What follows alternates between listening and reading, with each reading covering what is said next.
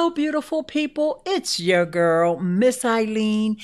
And today I am logged in to Facebook in the Creator Studio, the Creator Studio of my Facebook page.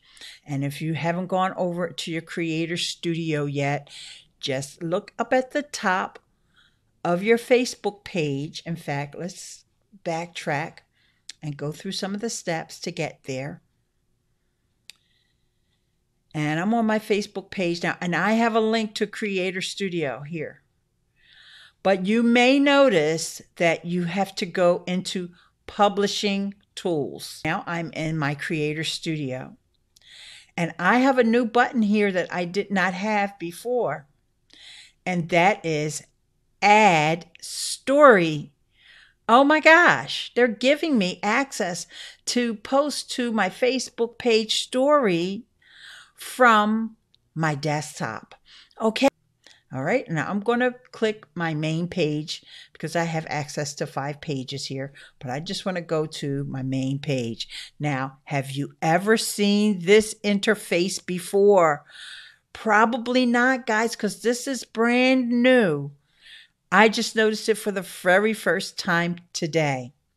And I get the option to add a photo. Now, I'm going to add a photo here and I'll pick out one that uh, promotes one of my YouTube videos here. I did a YouTube video about how to create your Facebook avatar, but notice that it's kind of getting cut off a little on the ends. Well, there's actually a little, all I had to do was click on it, and there's actually a little resizing tool here. Just slid that over to make sure nothing got cut off. But what I can also do here is slide this up if I want, okay? And position it where I want. Now, in this particular case, I'm going to leave it like this. But depending upon the image that you have here, you also can rotate it. You can rotate it. Now, I wouldn't want to put that one upside down, but you, like I said, it just depends on your image. And then that also repositioned it. So let me go back. All right. Get it just lined up. Maybe I just want to go right to the edge with my image so that the background that Facebook added doesn't really peek through too much. But I don't want anything to get cut off. I don't want my hair to get cut off on my avatar. So now here is what's really, really cool. Now, this is going to be uh, something that everyone is not going to have access to, guys, but I want you to know that it's going to be coming to you and make sure that you have the creator studio on your Facebook page because this is what you're going to also have access to. Okay. So here I can add text to this So watch the video.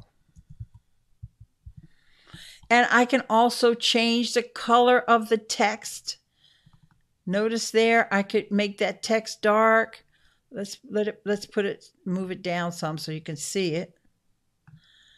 Actually get rid of it because I'll, you'll see what happens and I get to add a button. Do you see this over here on the left hand side? This means I can put a URL in here. So I already know the link for this video is ileane.link slash FB avatar. Okay, so I can now also change this, what it says on the button uh, it, I could say learn more, see more, learn more, shop now. Of course, I'm not selling anything on that. Book now, call now, get directions. So let's just go with learn more. Okay. And that's why I took the text off because I know that it adds this button because I've been playing with this all day. And just like that, I can share that to my story.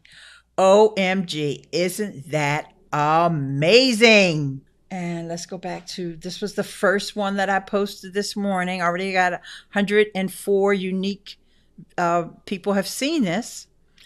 And then I posted a second one.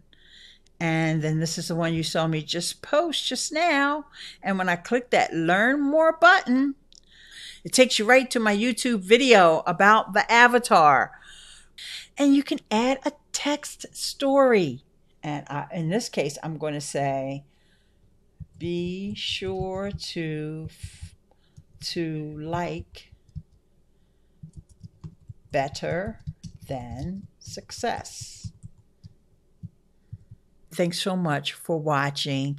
And as always, and parting, stay beautiful.